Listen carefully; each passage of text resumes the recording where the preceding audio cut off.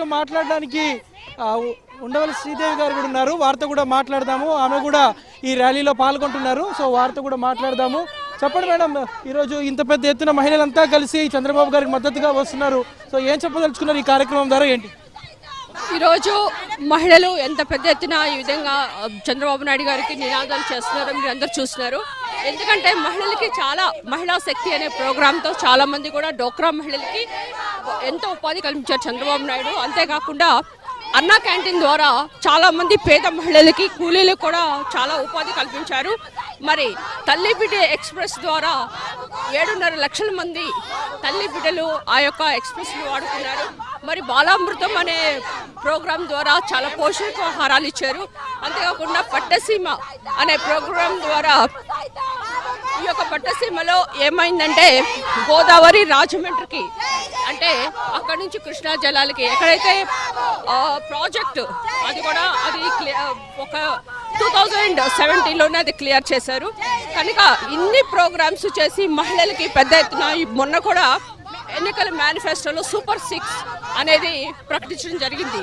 మహాశక్తికి అనేది ఆడబిడ్డ నిధి కింద ఎవరైతే పద్దెనిమిది సంవత్సరాలు నిండి యాభై తొమ్మిది సంవత్సరాల లోపల వాళ్ళందరికీ కూడా ఆల్మోస్ట్ వాళ్ళందరికీ కూడా పద్దెనిమిది వందలు ఇస్తారని చెప్పారు.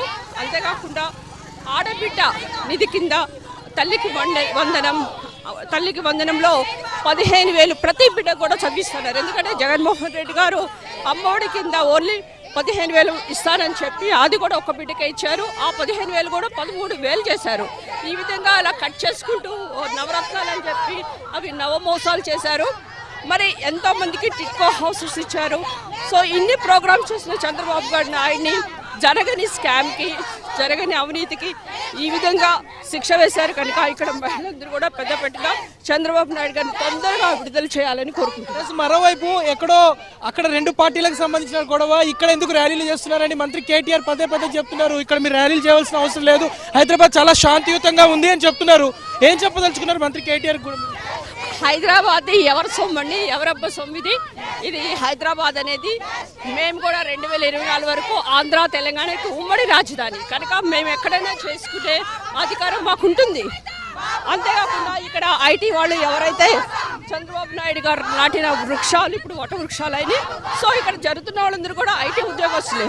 కనుక వాళ్ళందరూ కూడా చంద్రబాబు నాయుడు గారికి మద్దతు ఇస్తున్నారు ఎస్ మనం చూడొచ్చు. ఇక్కడ మహిళలు అదేవిధంగా మనము చూస్తున్నాము పెద్ద ఎత్తున ఇటు సాఫ్ట్వేర్ ఉద్యోగులు అందరూ కూడా చంద్రబాబుకు మద్దతు